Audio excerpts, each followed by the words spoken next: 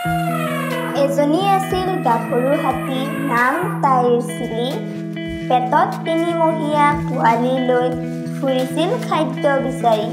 গোটেই দুপৰীয়াটো বিচাৰিও তাই নাপালে একো খাবলৈ। সেয়ে হাবিৰ পৰা ওলাই চালে পাই নেকি কিবা পেট পূৰাবলৈ। আহি আহি তাই হাবি পাৰ হৈ মানুহৰ গাঁও পালে। মনৰ আনন্দতে এখন বাগিচাত সোমাই পেট পূৰাবলৈ ফল খালে।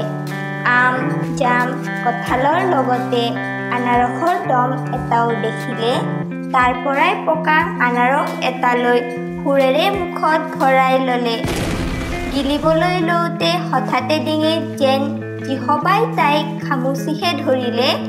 তৰা নৰা ছিঙি ভৰা পেটটোৰে তাই পানীলৈ টপলিয়ালে।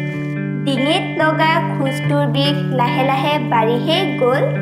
বিষত আঁতোৰা হৈ তাই চিঞৰিব নোৱাৰা হ'ল। ওচৰ চাপি অহা মানুহজাকক দেখি তাইৰ ভয় আৰু বাঢ়িহে গ'ল।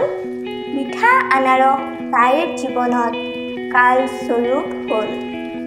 মানুহৰ নিসংগতাৰ কথা বুজি নোপোৱা চিলি মানুহৰ স্বাৰ্থপৰতাৰ বলি হ'ল। আনাৰসত ভৰাই থোৱা ফটকাবোৰে চিলিৰ ডিঙি ছিঙি নিলে। তিনিদিন তাই কেৱল পানীহে বোৱালে। লাহে লাহে পোৰ খাই অহা শৰীৰটোৰে চতুৰ্থ দিনা তাই মৃত্যুক সাৱটি ল'লে। ভোকাটোৰ আনাৰস খোৱাটোৱে ভুল আছিল নেকি? যাৰ বাবে তাই ইমান ডাঙৰ শাস্তি পালে। Tell me pretty lies, look me in the face. Tell me that you love me,